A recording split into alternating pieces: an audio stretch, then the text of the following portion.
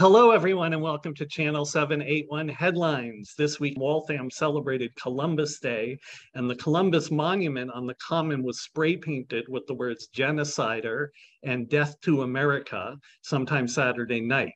According to a WCAC article, that's the fifth time the monument has been vandalized in five years.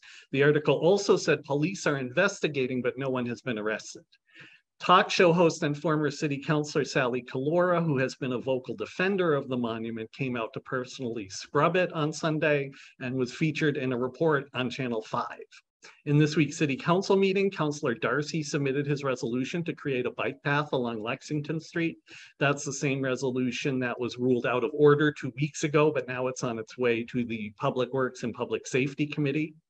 Councillor Darcy also submitted a resolution to create a Waltham Municipal Bicycle and Pedestrian Ad Hoc Committee, and that was sent to the Committee of the Whole. So we'll talk about that more on the debrief show, and we'll also talk a little bit about what's going on with the farm property. There are two more public input sessions for the Master Planning Committee coming up. One is the 19th at 7.30 at Northeast Elementary, and that one's for Ward 3. The other one is the following night, the 20th at 7.30 at Fitzgerald Elementary, and that's for Ward 4. If you live in those wards, make sure you go and uh, let the committee know what you think the priority should be for Waltham. Also this coming weekend is the library's fall book sale. And on Saturday, the 15th, is Farm Day at Waltham Community Farm. That's from 1 to 4 p.m.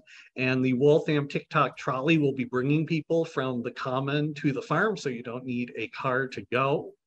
In other upcoming meetings, this coming Monday, the 17th, the City Council will have their usual committee meetings.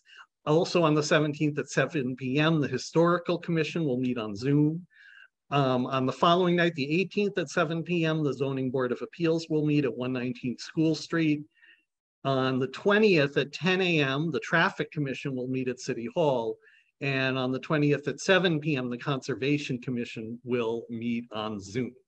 So the next thing we post will be our debrief show. Stay tuned. Thanks a lot.